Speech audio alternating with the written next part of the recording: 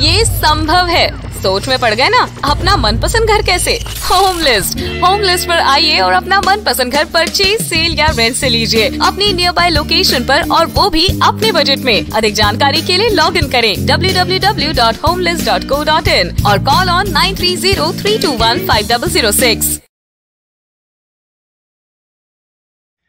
hello दोस्तों, नमस्कार। मैं हूँ आपका दोस्त सुरेश भाटिया ग्लोबल प्रॉपर्टीज़ और होमलेस कंपनी इंदौर से।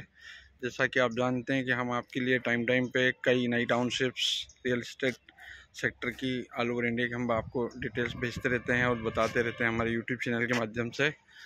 तो इसी कड़ी में एक रेसिडेंशियल टाउनशिप दोस्तों, जैसा कि आप देख रहे हैं, ये पूरी तरह से डेवलप है और ये हमारे कॉन्टेक्ट में आई है, जिसका नाम है श्री सिद्धि विनायक रेसिडेंसी और इसकी जो लोकेशन है दोस्तों ए बी रोड से जस्ट 300 मीटर अंदर है अपोजिट एक हनुमान मंदिर है, उसी से के पास वाली गली है, जहाँ पे बहुत सारी बजाज जी के नाम से टाउन्स ये मल्टी स्टोरी बिल्डिंग्स बनी हुई है।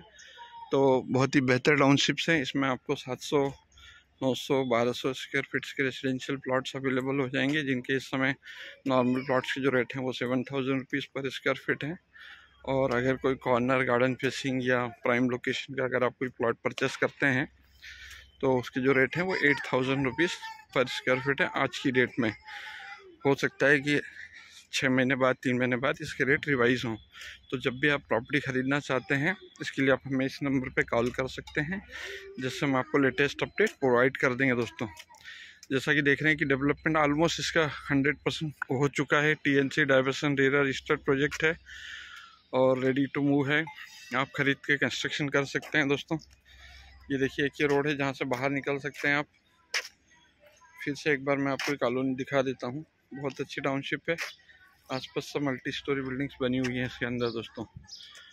तो इसमें अगर आप प्लाट खरीदने में इंटरेस्टेड हैं श्री सिद्धिविनायक रेसिडेंसी में तो आप हमारे नीचे डिस्प्ले पर नंबर चल रहे हैं, उन पर कॉन्टेक्ट कर सकते हैं। आपने कीमती समय दिया, उसके लिए बहुत बहुत धन्यवाद। थैंक यू वेरी मच मिलते हैं फिर अगले वीडियो में।